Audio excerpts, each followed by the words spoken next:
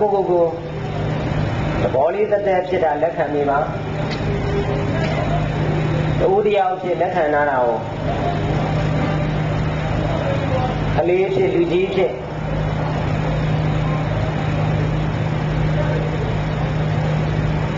သာမီးဖြစ် မိဘဖြစ်လက်ခံနာတာကိုဆက်တော့ပါသဘောလေးတက်တက်ပဲလို့